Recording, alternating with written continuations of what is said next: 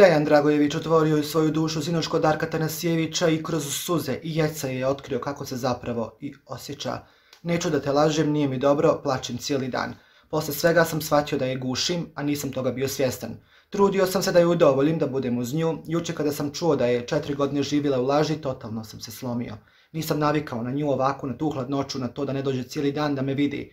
Rekao sam neću je nikada negativno komentarisati, niću dati ovaj prostor da neko izvuče nešto iz konteksta. Neću ni da je uvrijedim ili povrijedim. Sve ove godine mi smo bili jako skladni, dopunjavali smo se, imali smo takav odnos da možemo u džunglu da odemo i stavimo list dole i budemo srećni. Ne znam, nikada je nisam gušio. Šalili smo se, putovali smo, smijali smo se, igrali smo igrice, pravili večere. Voljeli smo jedino više da odemo na večer nego u kafanu, bili smo dosta bliski. Ne znam što da kažem, urlao je Dejan i plakao na sav glas. E, na pitanje voditelja za čim najviše žali, on je rekao da uvijek sam želio da ona drži naše dijete u naručju. Mnogo smo se borili za to.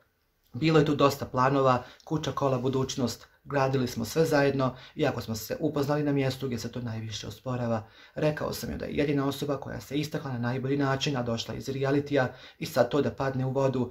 Nisu male stvari te koje smo stvorili. Zamisli da uđem u kuću i vidim te silne uspomene, govorio je Dejan Dragojević kroz suze u emisiji kod Darka Tenesijevića i rasplakao cijeli Balkan.